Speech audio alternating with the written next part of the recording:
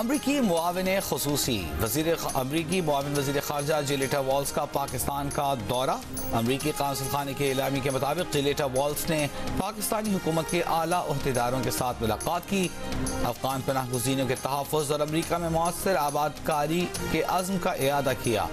जिलेटा walls का पाकिस्तान के साथ मिलकर काम जारी रखने की ख्वाहिश का इजहार, कहा अमरीका। पाकिस्तान में मौजूद अफगान पनाह गुजीनों के लिए वीज़ा की कार्रवाई को तेज़ करेगा।